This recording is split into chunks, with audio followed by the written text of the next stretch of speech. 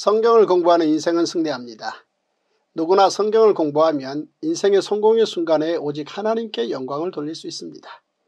누구나 성경을 공부하면 인생의 실패의 순간에도 하나님의 긍휼로 새롭게 시작할 수 있습니다. 여기 여러분의 성경을 쉽고 재미있는 이야기로 도울 수 있는 큰 글자 통독 성경이 있습니다. 역사순 1년 1독으로 출간된 세계 유일한 통독 성경입니다. 오늘도 역사순 큰 글자 통독 성경으로 시작하겠습니다. 오늘의 그 뉴스 아모스 1장에서 5장의 통습 다섯 가지 포인트를 먼저 읽어드리겠습니다. 첫 번째 포인트 하나님께서는 북이스라엘을 제사장 나라로 고치시려고 엘리야 엘리사에 이어 아모스 선지자를 보내십니다.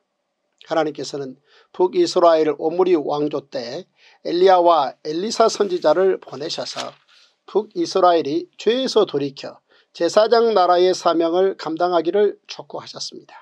그리고 북이스라엘의 가장 경제적으로 번성한 예우 왕조의 여로보암 2세 때에도 하나님의 선지자들을 보내심으로 북이스라엘이 하나님의 경고의 말씀을 듣고 죄에서 돌이킬 기회를 주십니다. 하나님께서는 먼저 아모스 선지자를 보내십니다. 아모스는 남유다의 성읍인 두고와의 목자이자 뽕나무를 재배하던 사람입니다. 하나님께서는 남유다 출신의 아모스를 북이스라엘까지 보내셔서 하나님의 말씀을 전하게 하십니다. 두 번째 포인트 하나님께서는 모든 민족을 다스리시며 역사를 주관하시는 살아계신 하나님이십니다. 아모스는 북이스라엘로 올라가서 여호와께서 이와 같이 말씀하시되 라고 입을 열기 시작해 아람, 블레셋, 두로, 에돔, 암몬, 모압 그리고 남유다와 북이스라엘의 죄를 지적하며 각 나라들이 그들의 죄로 인해 하나님의 심판을 받을 것이라고 경고합니다. 아모스가 언급한 이방 나라들에 대한 심판 선언은 하나님께서 이스라엘만의 하나님이 아니라 온 세상을 주관하고 심판하시는 창조주이심을 보여준 것입니다. 그리고 더 나아가 이스라엘이 의지할 것은 하나님께 심판받을 이방 나라들이 아니라 오직 하나님이심을 가르쳐준 것입니다. 세 번째 포인트 하나님께서는 아모스를 통해 북이스라엘의 수도 사마리아의 악행들을 구체적으로 드러내십니다. 아모스 선지자에 의해 북이스라엘 주변에 일곱 개 나라에 대한 심판의 메시지가 전해지고 이제는 본론으로 북이스라엘의 죄와 그에 대한 심판의 메시지가 전해집니다. 아모스 선지자에 의해 낱낱이 밝혀진 북이스라엘의 잘못입니다. 첫째 북이스라엘은 공의가 없는 나라였습니다. 둘째 북이스라엘은 타락한 나라로 하나님의 이름을 더럽혔습니다. 셋째 북이스라엘은 율법을 지키지 않는 나라였습니다. 가난한 이웃에 관한 법과 나시린 법등 율법을 어겼습니다. 북이스라엘에 대한 아모스의 예언은 BC 722년 북이스라엘이 아수르 제국에 의해 멸망하면서 성취됩니다. 네 번째 포인트 하나님께서는 사마리아 성의 상류층 사람들의 죄악을 지적하십니다. 하나님께서는 아모스 선지자를 통해 북이스라엘의 죄에 대해서 하나하나 다 들춰내시며 꼼꼼하게 지적하시고 죄로 인해 받을 심판에 대해 말씀하십니다. 첫째 북이스라엘 상류층 사람들을 향해 말씀을 시작하십니다. 바산의 암소들 곧 북이스라엘 상류층 사람들은 죄를 범하면서도 겉으로 보이는 종교적인 열심은 가득하여 뜻도 의미도 없이 많은 제사를 드렸습니다.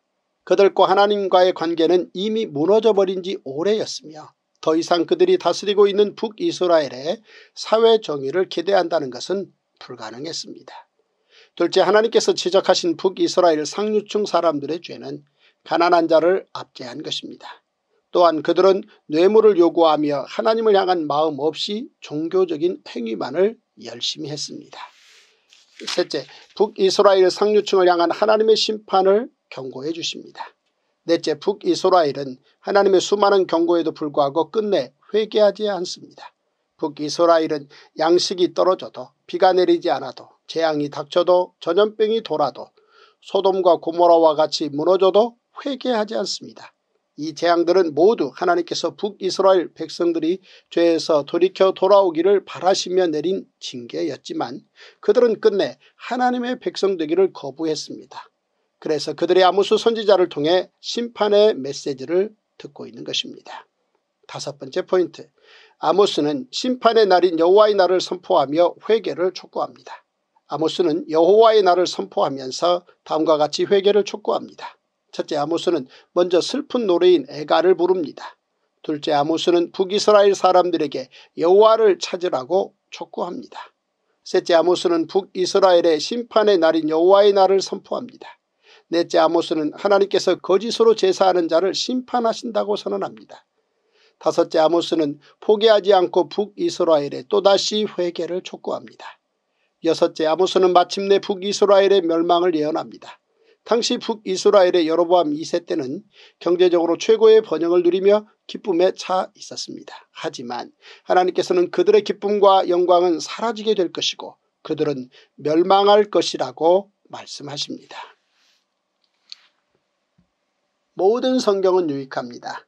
세상 예화나 성경 요절주의, 권별주의는 끝내 성경을 어렵게 합니다. 모든 성경을 모든 가정에서 다섯 살부터 통성경 스토리로 듣게 되면 성경은 곧 쉽고 재미있는 책이 될 것입니다. 모든 성경 이야기에는 첫째 하나님의 법, 둘째 하나님의 긍휼, 셋째 하나님의 기적이 들어있습니다. 그러므로 성경 한 권이면 충분합니다. 와우! 제169일 아모스 1장 유다왕 웃시야의 시대 곧 이스라엘 왕 요아스의 아들 여로보암의 시대 지진전 2년에 드고와 목자 중 아모스가 이스라엘에 대하여 이상으로 받은 말씀이라. 그가 이르되 여호와께서 시온에서부터 부르짖으시며 예루살렘에서부터 소리를 내시리니 목자의 초장이 마르고 갈멜산 꼭대기가 마르리로다. 여호와께서 이와 같이 말씀하시되 다메섹의 서너 가지 죄로 말미암아 내가 그 벌을 돌이키지 아니하리니 이는 그들이 철타작기로 타작하듯 길러앗을 압박하였습니다. 내가 하사엘의 집에 불을 보내리니 베나닷의 궁궐들을 사르리라. 내가 다메섹의 빗장을 꺾으며 아우엔 골짜기에서 그 주민들을 끊으며 벳 에덴에서 규잡은 자를 끊으리니 아람 백성이 사로잡혀 기르에 이르리라. 여호와께서 말씀하셨느니라. 여호와께서 이와 같이 말씀하시되 가사의 서너 가지 죄로 말미암아 내가 그 벌을 돌이키지 아니하리니 이는 그들이 모든 사로잡은 자를 끌어 에돔에 넘겼습니다. 내가 가사성에 불을 보내리니 그 궁궐들을 사르리라. 내가 또 아스돗에서 그 주민들과 아스골론에서 귤을 잡은 자를 끊고 또 손을 돌이켜 에고노를 치리니 블레셋에 남아있는 자가 멸망하리라. 주 여호와께서 말씀하셨느니라. 여호와께서 이와 같이 말씀하시되 두로의 서너 가지 죄로 말미암아 내가 그 벌을 돌이키지 아니하리니 이는 그들이 그 형제의 계약을 기억하지 아니하고 모든 사로잡은 자를 에돔에 넘겼습니다. 내가 두로성의 볼을 보내리니 그 궁궐들을 사리리라. 여호와께서 이와 같이 말씀하시되 에돔의 서너 가지 죄로 말미암아 내가 그 벌을 돌이키지 아니하리니 이는 그가 칼로 그의 형제를 쫓아가며 극류를 버리며 항상 맹렬히 화를 내며 분을 끝없이 품었습니다. 내가 대만에 불을 보내 리니 보스라의 궁궐들을 사르리라. 여호와께서 이와 같이 말씀하시되 암몬 자손의 서너 가지 죄로 말미암아 내가 그 벌을 돌이키지 아니하리니 이는 그들이 자기 지경을 넓히고자 하여 길라앗의 아이벤 여인의 배를 갈랐음이니라. 내가 라빠성의 불을 놓아 그 궁궐들을 사르되 전쟁의 날의 외침과 회오리 바람의 날에 폭풍으로 할 것이며 그들의 왕은 그 지도자들과 함께 사로잡혀 가리라. 여호와께서 말씀하셨느니라. 아보스 2장 여호와께서 이와 같이 말씀하시되 모압의 서너 가지 죄로 말미암아 내가 그 벌을 돌이키지 아니하리니 이는 그가 에돔 왕의 뼈를 불살라 죄를 만들었습니다. 내가 모압의 불을 보내리니 그리옷 궁궐들을 사르리라. 모압이 요란함과 외침과 나팔 소리 중에서 죽을 것이라. 내가 그 중에서 재판장을 멸하며 지도자들을 그와 함께 죽이리라. 여호와께서 말씀하시니라. 여호와께서 이와 같이 말씀하시되 유다의 서너 가지 죄로 말미암아 내가 그 벌을 돌이키지 아니하리니 이는 그들이 여호와의 율법을 멸시하며 그 율례를 지키지 아니하고 그의 조상들이 따라가던 거짓 것에 미혹되었습니다. 내가 유다의 불을 보내리니 예루살렘의 궁궐들을 사르리라. 여호와께서 이와 같이 말씀하시되 이스라엘의 서너 가지 죄로 말미암아 내가 그 벌을 돌이키지 아니하리니 이는 그들이 은을 받고 의인을 팔며 신한 켤레를 받고 가난한 자를 팔며 힘없는 자의 머리를 티끌먼지 속에 발로 밟고 연약한 자의 길을 굽게 하며 아버지와 아들이 한 젊은 여인에게 다녀서 내 거룩한 이름을 더럽히며 모든 재단 옆에서 전당 잡은 옷 위에 누우며 그들의 신전에서 벌금으로 얻은 포도주를 마심이니라. 내가 아무리 사람을 그들 앞에서 멸하였나니 그 키는 백향목 높이와 같고 강하기는 상수 상 수리나무 같으나 내가 그 위에 열매와 그 아래의 뿌리를 진멸하였느니라. 내가 너희를 애굽 땅에서 이끌어내어 40년 동안 광야에서 인도하고 아모리 사람의 땅을 너희가 차지하게 하였고 또 너희 아들 중에서 선지자를 너희 청년 중에서 나시린을 일으켰나니 이스라엘 자손들아 과연 그렇지 아니하냐 이는 여호와의 말씀이니라. 그러나 너희가 나실 사람으로 포도주를 마시게 하며 또 선지자에게 명령하여 예언하지 말라 하였느니라. 보라 곡식단을 가득히 실은 수레가 흙을 누름같이 내가 너희를 누르리니 빨리 다른 박질하는 자도 도망할 수 없으며 강한 자도 자기 힘을 낼 수 없으며 용사도 자기 목숨을 구할 수 없으며 활을 가진 자도 설 수 없으며 발이 빠른 자도 피할 수 없으며 말 타는 자도 자기 목숨을 구할 수 없고 용사 가운데 그 마음이 굳센 자도 그날에는 벌거벗고 도망하리라 여호와의 말씀이니라. 아모스 3장 이스라엘 자손들아 여호와께서 너희에 대하여 이르시는 이 말씀을 들으라. 애굽 땅에서 인도하여 올리신 모든 족속에 대하여 이르시기를 내가 땅의 모든 족속 가운데 너희만을 알았나니 그러므로 내가 너희 모든 죄악을 너희에게 보응하리라 하셨나니 두 사람이 뜻이 같지 않은데 어찌 동행하겠으며 사자가 움킨 것이 없는데 어찌 수풀에서 부르짖겠으며 젊은 사자가 잡은 것이 없는데 어찌 굴에서 소리를 내겠느냐? 덫을 땅에 놓지 않았는데 새가 어찌 거기 치이겠으며 잡힌 것이 없는데 덫이 어찌 땅에서 튀겠느냐? 성읍에서 나팔이 울리는데 백성이 어찌 두려워하지 아니하겠으며 여호와의 행하심이 없는데 재앙이 어찌 성읍에 임하겠느냐 주 여호와께서는 자기의 비밀을 그종 선지자들에게 보이지 아니하시고는 결코 행하심이 없으시리라.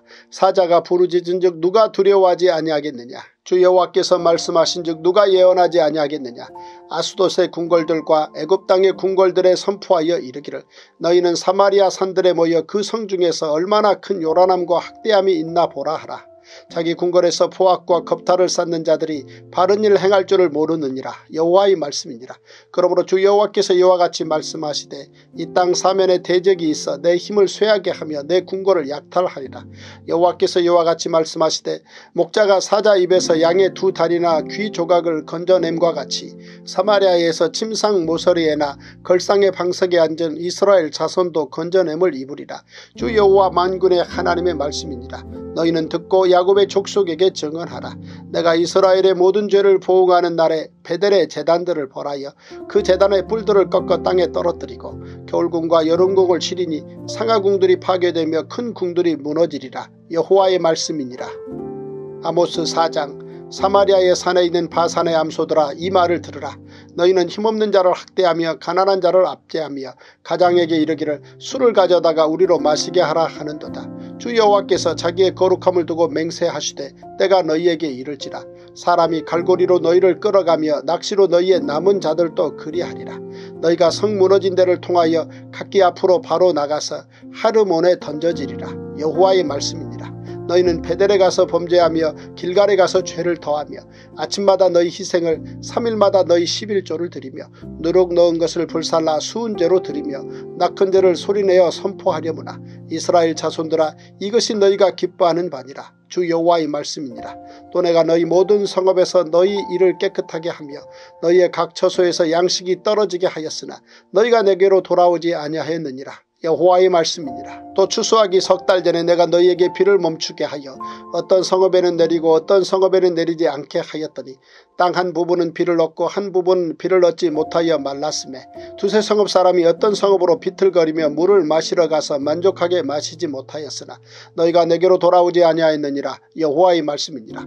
내가 곡식을 마르게 하는 재앙과 깐부기 재앙으로 너희를 쳤으며 팥중이로 너희의 많은 동산과 포도원과 무화과나무와 감람나무를 다 먹게 하였으나 너희가 내게로 돌아오지 아니하였느니라. 여호와의 말씀이니라. 내가 너희 중에 전염병 보내기를 애굽에서 한 것처럼 하였으며 칼로 너희 청년들을 죽였으며 너희 말들을 노력하게 하며 너희 진영의 악취로 코를 찌르게 하였으나 너희가 내게로 돌아오지 아니하였느니라. 여호와의 말씀이니라 내가 너희 중에 성읍 무너뜨리기를 하나님이 내가 소돔과 고모라를 무너뜨림같이 하였으므로 너희가 불붙는 가운데서 빼낸 나무조각같이 되었으나 너희가 내게로 돌아오지 아니하였느니라. 여호와의 말씀이니라 그러므로 이스라엘아 내가 이와 같이 내게 행하리라. 내가 이것을 내게 행하리니 이스라엘아 내 하나님 만나기를 준비하라. 보라 산들을 지으며 바람을 창조하며 자기 뜻을 사람에게 보이며 아침을 어둡게 하며 땅의 높은 데를 밟는 이는 그의 이름이 만군의 하나님 여호와시니라. 아모스 5장 이스라엘 족소가 내가 너에게 대하여 애가로 지은 이 말을 들으라. 처녀 이스라엘이 엎드려졌으며 다시 일어나지 못하리로다. 자기 땅에 던지우며 일으킬 자 없으리로다. 주 여호와께서 이와 같이 말씀하시되 이스라엘 중에서 천명이 행군에 나가던 성읍에는 백명만 남고 백명이 행군에 나가던 성읍에는 열명만 남으리라 하셨느니라. 여호와께서 이스라엘 족속에게 이와 같이 말씀하시기를 너희는 나를 찾으라 그리하면 살리라. 베델을 찾지 말며 길갈로 들어가지 말며 부엘세바로도 나아가지 말라. 길갈은 반드시 사로잡히겠고 베델은 비참하게 될 것임이라 하셨나니 너희는 여호와를 찾으라 그래야 하면 살리라. 그렇지 않으면 그가 불같이 요셉의 집에 임하여 멸하시리니 베델에서 그 불들을 끌 자가 없으리라. 정의를 순쑥으로 바꾸며 공의를 땅에 던지는 자들아 묘성과 삼성을 만드시며 사망의 그늘을 아침으로 바꾸시고 낮을 어두운 밤으로 바꾸시며 바닷물을 불러 지면에 쏟으시는 이를 찾으라 그의 이름은 여호와시니라 그가 강한 자에게 갑자기 패망이 이르게 하신지 그 패망이 산성에 미치느니라. 머리가 성문에서 책망하는 자를 미워하며 정직히 말하는 자를 싫어하는도다. 너희가 힘없는 자를 밟고 그에게서 미래에 부당한 세를 거두었은즉 너희가 비록 다듬은 돌로 집을 건축하였으나 거기 거주하지 못할 것이요 아름다운 포도원을 가꾸었으나 그 포도주를 마시지 못하리라. 너희의 허물이 많고 죄악이 무거움을 내가 아노라. 너희는 의인을 학대하며 뇌물을 받고 성문에서 가난한 자를 억울하게 하는 자로다. 그러므로 이런 때에 지혜자가 잠잠하나니 이는 악한 때임이니라. 너희는 살려면 선을 구하고 악을 구하지 말지어다. 만군의 하나님 여호와께서 너희의 말과 같이 너희와 함께 하시리라. 너희는 악을 미워하고 선을 사랑하며 성문에서 정의를 세울지어다. 만군의 하나님 여호와께서 혹시 요셉의 남은 자를 불쌍히 여기시리라. 그러므로 주만군의 하나님 여호와께서 이와 같이 말씀하시기를 사람이 모든 광장에서 울겠고 모든 거리에서 슬프도다 슬프도다 하겠으며 농부를 불러다가 애곡하게 하며 울음꾼을 불러다가 울게 할 것이며 모든 포도원에서도 울리니 이는 내가 너희 가운데로 지나갈 것입니다. 여호와의 말씀이니라. 와 있을진저 여호와의 날을 사모하는 자여 너희가 어찌하여 여호와의 날을 사모하느냐 그날은 어둠이요 빛이 아니라 마치 사람이 사자를 피하다가 곰을 만나거나 혹은 집에 들어가서 손을 벽에 대었다가 뱀에게 물림 같도다. 여호와의 날은 빛없는 어둠이 아니며 빛남 없는 캄캄함이 아니냐. 내가 너희 절기들을 미워하여 멸시하며 너희 성회들을 기뻐하지 아니하나니 너희가 내게 번제나 소제를 드릴지라도 내가 받지 아니할 것이요 너희의 살찐 희생의 화목제도 내가 돌아보지 아니하리라. 내 노래소리를 내 앞에서 그칠지어다 내 비파 소리도 내가 듣지 아니하리라. 오직 정의를 물같이 공의를 마르지 않는 강같이 흐르게 할지어다. 이스라엘 족소가 너희가 40년 동안 광야에서 희생과 소제물을 내게 드렸느냐 너희가 너희 왕 식국과 기운과 너희 우상들과 너희가 너희를 위하여 만든 신들의 별 형상을 지고 가리라. 내가 너희를 담에색 밖으로 사로잡혀 가게 하리라. 그의 이름이 만군의 하나님이라 불리우는 여호와께서 말씀하셨느니라.